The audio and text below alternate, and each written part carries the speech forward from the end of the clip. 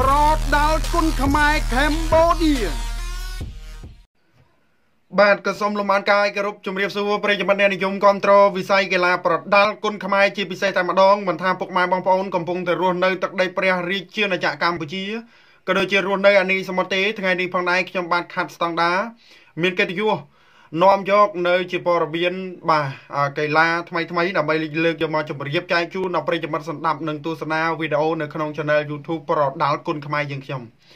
នៅថ្ងៃនេះផងដែរប្រិយមិត្តយើងមាន ជារឿងរ៉ាវថ្មីមួយ ដែលតាក់ទងទៅនឹងវិស័យកីឡាបដាល់គុណខ្មែររបស់កម្ពុជាតែម្ដង ប្រិយមិត្តទាំងអស់គ្នាប្រហែលជាដឹងហើយតាំងតែពីការប្រកួតបិទបញ្ចប់ទៅ រវាងកីឡាករធឿនធារារបស់កម្ពុជាជាមួយនឹងកីឡាករសៃយុគភូមិផានមុងឃើញថាធឿនធារាបានផ្ដួលសៃយុគឲ្យបោះបង់ការប្រកួតត្រឹមទឹកទី1ហើយទទួលបានថវិកានិងពៀនខ្សែក្រវ៉ាត់មកពីប្រទេសថៃមកដល់ដីកម្ពុជា អ្នកឧបត្ថម្ភធឿនធារារាប់ពាន់រាប់ម៉ឺនដុល្លារ បាទរាប់ពាន់រាប់ម៉ឺនដុល្លារដល់ពេលឥឡូវនេះអ្នកដែលដឹកនាំកីឡាករធឿនធារាទៅឬគេហៅថា promoter អ្នកនាំកីឡាករចេញទៅវាយនៅសង្វៀនថៃហ្វៃណាកីឡាករបានកយៈបានធ្វើការបង្ហោះបាទក៏ក្រោកបណ្ដាញសង្គមមានទាំងមតិរិះគន់បានកយៈនិងមតិស្របនឹងបានកយៈទៅទៀត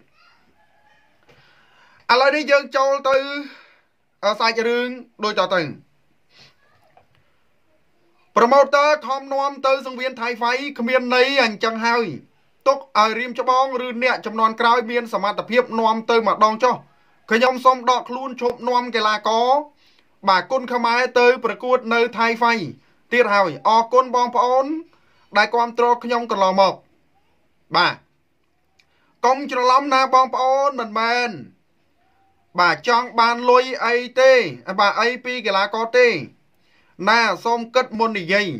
ពេលមិនទាន់ជោគជ័យគេរិះគន់ខ្ញុំ បាទជាអ្នករងពាក្យរិះគន់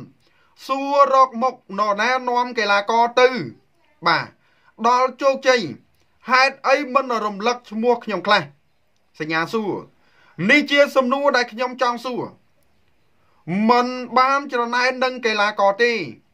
បាទកុំយល់ច្រឡំសមត្ថភាពខ្ញុំមានខ្ញុំយកវាទៅដូរនឹងលុយបាន អញ្ចឹងប្រិយមិត្តទាំងអស់គ្នាណាបាទអ្នកខំដាំបានត្រឹមតែខំដាំអ្នកឡើងបេះបានផលអញ្ចឹងតកតងទៅនឹងបញ្ហានេះប្រិយមិត្តណា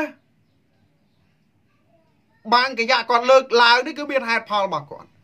ហើយបើយើងគ្រាន់តែស្ដាប់ទៅយើងគិតថាបានកយៈនឹងចំណែនកីឡាករចុះពេលជេ ជេណាគេជេអ្នកនាំទៅ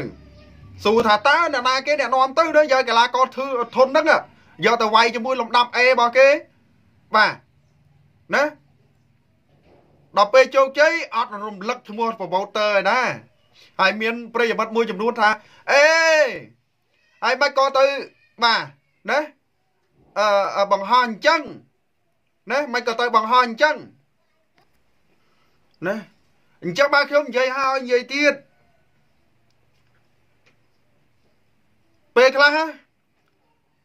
អ្នកមិនជាប់ពាក់ព័ន្ធតែបានផលប្រយោជន៍ហើយខ្ញុំជឿថាកីឡាករបានកយៈអតីតកីឡាករឥឡូវហ្នឹងប្រហែលជាឈប់វាយហើយខ្ញុំស៊ូគាត់ផ្ទាល់ហ្មងខ្ញុំនិយាយហ្មង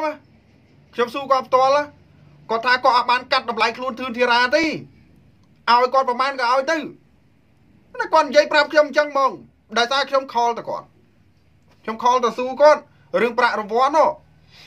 បាទវាយ៉ាងម៉េចបាទនិយាយឲ្យអស់អញ្ចឹងតែម្ដងទៅ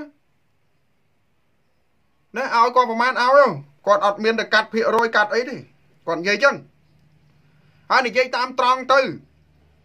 បានកយៈជាអ្នកនាំកីឡាករទៅណាបាទសំខាន់បំផុត ក្រោយភាពជោគជ័យធឿនធារាក៏មានគាត់នៅនឹងដែរណាគាត់អ្នកនាំទៅគាត់អ្នកដឹកនាំទៅដែរយើងនិយាយចឹងទៅមិននិយាយចឹងចង់បានប្រាក់ឧបត្ថម្ភអីទៅលើបាងកយៈអីអត់ទេតែយើងមើលឲ្យគ្រប់ជ្រុងគ្រប់ជ្រោយណាបាទអ្នកគ្រប់គ្រប់ជ្រុងគ្រប់ជ្រោយហើយឥឡូវនេះបាទលោកស្រីត្រីដាណា បាទបានធ្វើការបង្ហោះណាជាមួយនឹង caption ថាគាត់នេះហើយអ្នកនាំកីឡាករធឿនធីរ៉ានិងហ៊ុនកនទៅប្រកួតនៅថៃហ្វាយនាងខ្ញុំជួយឧបត្ថម្ភ500ដុល្លារសម្រាប់លើកទឹកចិត្តគាត់សូមលោកបាងកយៈជួយកីឡាករផ្សេងផ្សេងទៀតឲ្យមានទីផ្សារនៅក្រៅប្រទេសឲ្យបានច្រើនដើម្បីផ្សព្វផ្សាយប្រដាល់គុណខ្មែរលើឆាកអន្តរជាតិបាទអញ្ចឹងលោកស្រីត្រីដាណាហ្នឹងបានធ្វើការឧបត្ថម្ភដល់បាងកយៈ500 បាទនៅប្រិមត្តបាទមានអ្នកសំណងពថាឲ្យចុះមិនក៏ពេលដែលបាទទៅទទួលប្រាក់ឧបត្ថម្ភបាទអីផ្សេងផ្សេងពីអឺអ្នកអង្គញាលោកអង្គញាឯកឧត្តមលោកជំទាវបាទលោកលោកស្រីអ្នកមុខអ្នកការដែលឧបត្ថម្ភបានកីឡាករមិនក៏មិនឃើញមុខបានកយៈទៅសោះបាទរឿងបញ្ហានេះខ្ញុំអត់ដឹងទេ ដល់ប្រិមត្តមិនបាច់ស៊ូមកខ្ញុំទេដោយសារខ្ញុំអត់ដឹងបាទខ្ញុំអត់ដឹងគឺខ្ញុំនិយាយថាអត់ដឹងបាទបើគេឧបត្ថម្ភធឿនធីរ៉ាគេមានឧបត្ថម្ភបានកយៈណាបាទមិនអញ្ចឹងដល់ពេលអញ្ចឹងឃើញអត់ឃើញមុខគាត់ឯងខ្ញុំមិនដឹងរឿងហ្នឹងខ្ញុំអត់ដឹងទេបាទក៏ស៊ូទៅខាងភាគីកីឡាករនិងអ្នកដឹកនាំកីឡាករទៅជួបបាទអ្នកឧបត្ថម្ភអានឹងបានដឹងខ្ញុំអត់ដឹងទេណាប្រិមត្តណាបាទមិនបាច់ឆាតមកខ្ញុំមិនបាច់ស៊ូខ្ញុំឯងខ្ញុំអត់ដឹង ហើយបើខ្ញុំអត់ដឹងខ្ញុំថាខ្ញុំអត់ដឹងអញ្ចឹងមកបាទហើយតើតើទៅនឹងខ្សែក្រវ៉ាត់ថៃហ្វៃល្បីប៉ុណ្ណឹងឯងបាទបានខ្សែក្រវ៉ាត់ថៃហ្វៃណាមិនមែនស្ថាប័នពិភពលោកទេណាល្បីកម្រិតហ្នឹងចុះតម្រាំបានវ៉ាន់ Championship បាន Glory បាន K1 បាន Racing បាទអីផ្សេងផ្សេងទៀតដឹកល្បីល្មិចទេប្រិមិត្តបាទមិនដឹងយ៉ាងណាយ៉ាងណីទេបាទគុណខ្មែររបស់យើងណាខ្ញុំបានថាសំខាន់ការប្រឹងប្រែង បាទការប្រឹងប្រែងកីឡាករណាបាទដូចធឿនធីរ៉ាដូចអីនេះបាទគាត់ប្រឹងប្រែងអញ្ចឹងខ្ញុំសនំពោកុំបាក់បែកគ្នាអីទឹមតែជោគជ័យបានមួយកម្រិតហើយឥឡូវនេះមានឃើញថាមានការបង្ហោះលកម្មលកោសទាំងភាគីប្រម៉ូទ័រទាំងអីផ្សេងផ្សេងអ្នកគ្រប់គ្រងហ្នឹងហើយអ្នកគ្រប់គ្រងចូលទៅជេរបានកយ៉ាក់ដល់ហើយបាទណា ប្រម៉ូទ័រអ្នកស៊ីភាគរយមិនបានចេញចរិតទូឯកទូរងអញ្ចឹងបាទនិយាយរឿងនេះប្រិមណាបាទមានអ្នកចូលទៅខមមិនតណាមិញទេបាទមែនថាបងគាត់បង្ហាញចរិតអញ្ចឹងមានន័យថាគាត់មិនមែនធ្វើដើម្បីគុណខ្មែរទេគឺគាត់ធ្វើដើម្បីលុយច្រើនជាងអញ្ចឹងហើយបានកន្លងមកយកទៅវាចាញ់ដោយគិតតែលុយហើយមើលទៅមិនសូវ គិតកម្រិតកីឡាករទើបធីរ៉ាមួយឈ្នះបាទឥឡូវខ្ញុំនិយាយរឿងការគិតកីឡាករការគិតគុណខ្មែរនឹងនឹងលុយឥឡូវខ្ញុំនិយាយបើកវងកញ្ចក់បន្តិចមានប្រិយមិត្តច្រើនណាស់និយាយថាគិតគុណខ្មែរ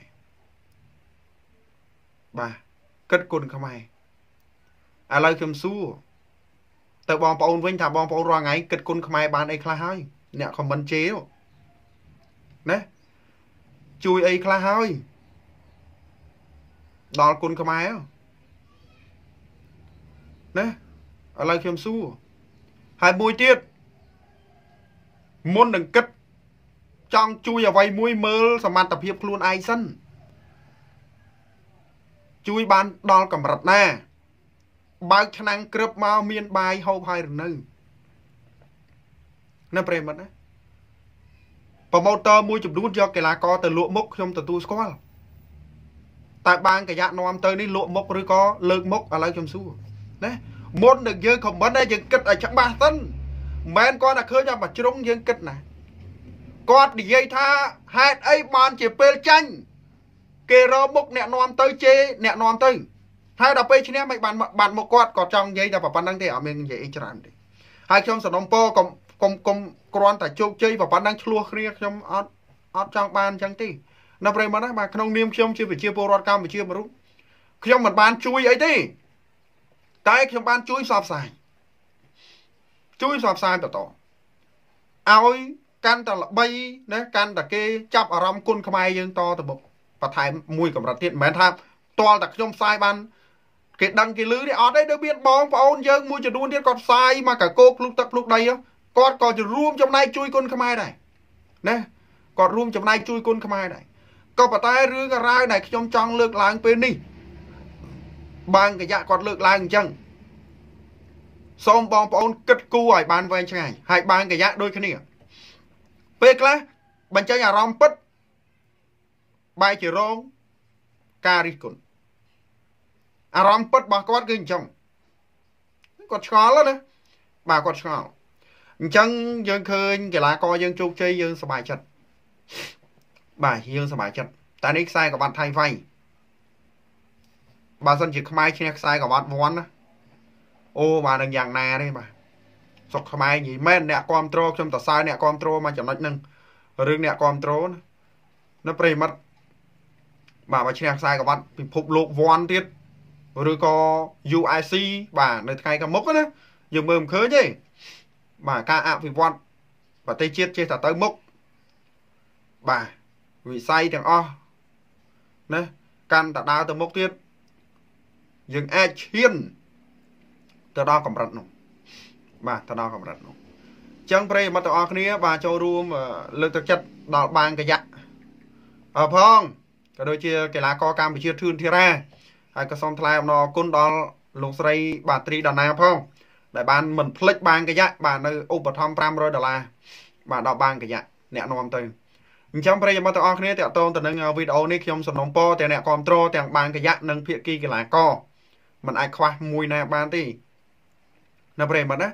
បាទมันអាចខ្វះភាគីមួយណាបានទេភាពជោគជ័យគឺរមែងមាន3កត្តាសំខាន់ហ្នឹងភាគីខាងកីឡាករភាគីអ្នកដឹកនាំ កីឡាករយកទៅនិងអ្នកគ្រប់គ្រងបើគ្មានអ្នកគ្រប់គ្រងកីឡាករគ្មានទឹកចិត្តហាត់ណាហាត់ដើម្បីអីបើគ្មានការគ្រប់គ្រងផងហើយហាត់ដើម្បីអីបើគ្មានអ្នកនាំទៅផងណាណាគឺវាអញ្ចឹងណាណាយើងនិយាយឲ្យច្បាស់លាស់អញ្ចឹងតែម្ដងឥឡូវនេះបានកយៈគាត់បង្ហោះសារមិនមែនត្រាម៉ែទេគាត់អន់ចិត្តតែម្ដងបាទនិយាយចឹងគាត់អន់ចិត្តតែម្ដងអញ្ចឹងប្រិយមិត្តទាំងអស់គ្នាចូលរួមបាទបញ្ចេញមតិយោបល់បាទម្នាក់មួយផងជាចុងក្រោយបាទសូម ជម្រាបលាប្រិយមិត្តប្រដល់គុណខ្មែរកម្ពុជា